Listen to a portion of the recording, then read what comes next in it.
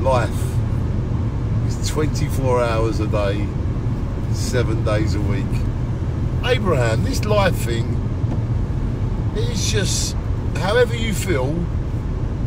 You just wake up, you get into your car, and you drive down the road, and there is just so much life.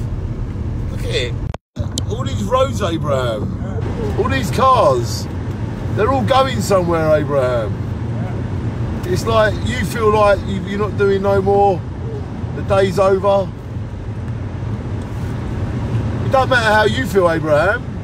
The reality is that this world is spinning around.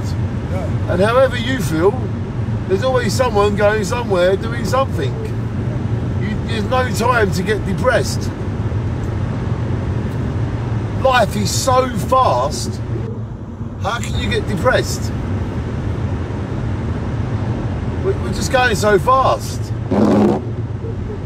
Ladies and gentlemen, we have discovered that there is a world always happening, always going on. And we cannot allow ourselves to beat ourselves up. We cannot allow ourselves to give up.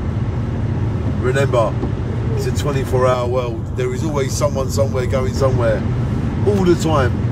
It's not how you feel, it's how the world is shine.